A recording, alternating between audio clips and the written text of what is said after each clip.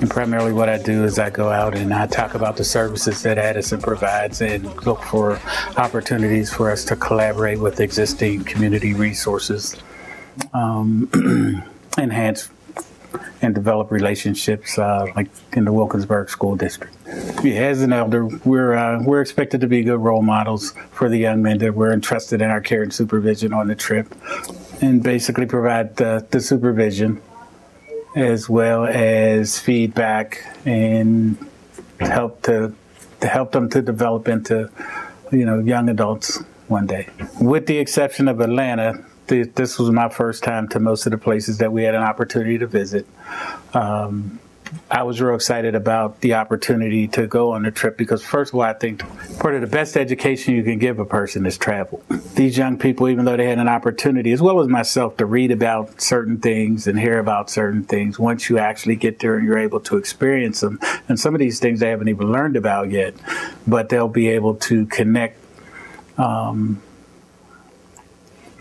the visual part and the things that they experience with what they're actually learning in the classroom so they can actually come back as teachers um, themselves. So I'm sure they had a wealth of information to bring back to their families as well as their uh, their classmates and teachers once they came back to school. Well, they were just uh, very enthusiastic. They asked a lot of questions.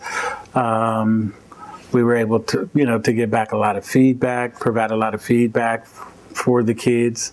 See, I know when we had an opportunity to visit the Edgars um, home, Myrlie Evers came in, and I saw the movie Mississippi Burning, and just uh, thought about Whoopi Goldberg playing her in the movie, and it was a very emotional time because you know when you think about the sacrifices that these people made, the civil rights leaders, um, for a lot of the things that we're afforded today, um, it just basically hit home. Um, so that was a very surreal moment for myself as well as some of the other adults that were in the room. But you know, she was very giving of her time and and just very sincere. So that was probably the time that stuck out the most for me in in the whole trip. Well, personally, I think there's a a disconnect with some of our older youth in terms of their history. Um, and the whole civil rights movement. I think a lot of times they take things for granted. Uh, whereas with this program, what it's helping to do is to reconnect our youth with their history um, so that they understand it and they don't take things for granted, like voting. uh, Medgar Evers basically died um, trying to register people to vote. I mean, here's a man who served his country went to World War II, um, fought in the military, came back and was denied the right to vote. And, you know, he was basically killed because he was out registering, trying to register people to vote. So he was never able, he never ever voted in an election.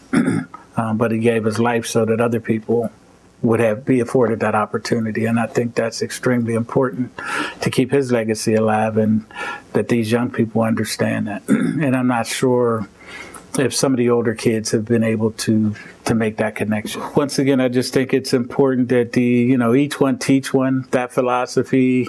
Um, it's important that the older men give the younger males an opportunity to to grow up and, and learn what it is uh, to become a man. um, unfortunately, a lot of these young people don't have uh, male role models to look up for, to whether it's in their home or sometimes in the community. So it's important for us to provide um, those roles for them. so on the trip, we were able to talk a lot about families and talk a lot about our jobs and what we do and uh, our education and how important that is. And um, their behavior. So they got to see how we interacted with each other as men, um, as well as them um, on the bus. So by the end of the tour, everybody knew everybody, and I think we came back uh, a lot closer. And um, there were a lot of bonds and friendships that were developed over the trip because some of these kids hadn't been away from home ever. Uh, so, you know, just in terms of them taking direction initially from a stranger, but at the end of that trip, um, you know, now they know me as Mr. Rick, where before they didn't really know who I was, but now I have a good connection with these guys, and hopefully will continue um, right through, you know, the, their high school years. Um, so I'm real pleased about that and having that opportunity.